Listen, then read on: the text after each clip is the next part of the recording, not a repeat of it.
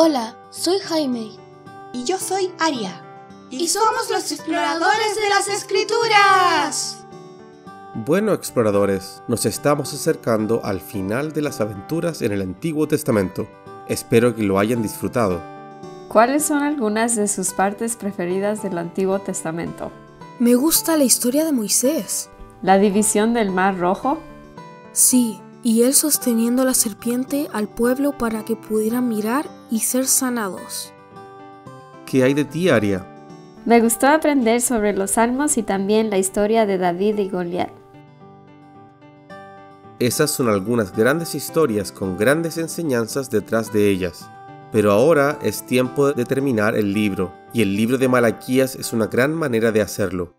El libro de Malaquías es un libro pequeño, pero contiene muchas profecías y enseñanzas importantes.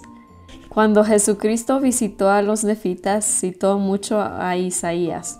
Pero ¿saben a quién más citó? ¿A Malaquías?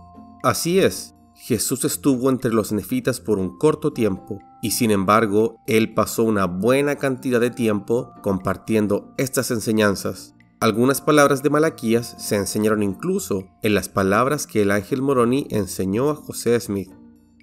Antes de hablar sobre sus enseñanzas, hay algo importante que deben recordar acerca del Antiguo Testamento.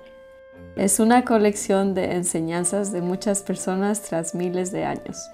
Hay algunas ideas que se enseñan frecuentemente en el Antiguo Testamento, pero no se puede hablar de otras cosas más de una o dos veces. La cantidad de tiempo dedicado a enseñar algo en el Antiguo Testamento no es siempre una señal de lo importante que es. Algunas de las ideas en Malaquías, por ejemplo, no aparecen mucho en otras partes de la Biblia, pero siguen siendo enseñanzas muy importantes.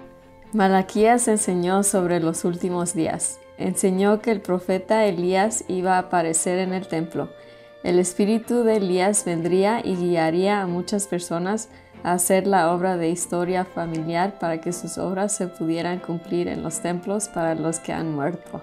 También enseñó sobre el diezmo. Poco se habla sobre el diezmo en el Antiguo Testamento, pero lo que se dice en Malaquías es poderoso. ¿Recuerdan lo que es el diezmo? Sí, es cuando devolvemos parte de lo que ganamos al Señor. Así es, el 10% de nuestro ingreso. Malaquías enseña de las bendiciones que vienen al pagar un diezmo completo. Él enseñó que si lo hacemos, las ventanas de los cielos se abrirán y Él derramará bendiciones sobre nosotros. ¿Entonces el dinero caerá del cielo?